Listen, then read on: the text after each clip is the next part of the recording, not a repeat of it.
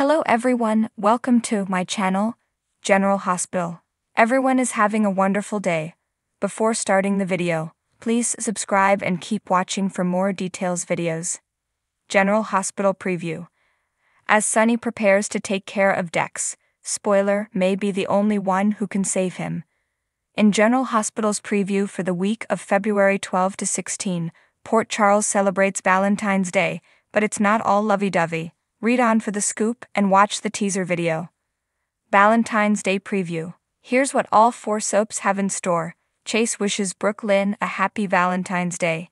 Yes, it's that time of year for extra romance on the soaps.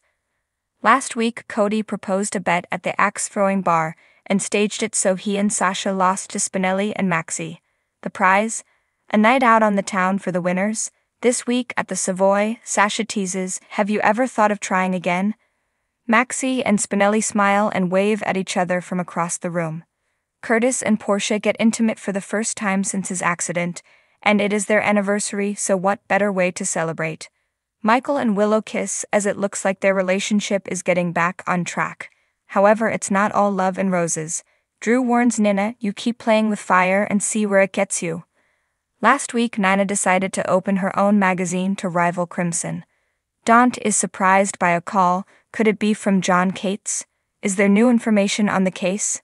Finally, after Brick exposed Dex's foreign bank account with a lot of money in it, it sure appeared to Sonny that Dex was the mole in his operation and perhaps the shooter. Of course, he has it all wrong. Coming up, Dex is apprehended and brought face to face with Sonny in the dark of night.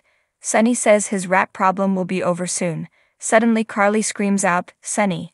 Will she be forced to expose the truth about Dex and Michael in order to save Dex's life? Read the General Hospital spoilers to find out what Molly discovers and what Nana receives.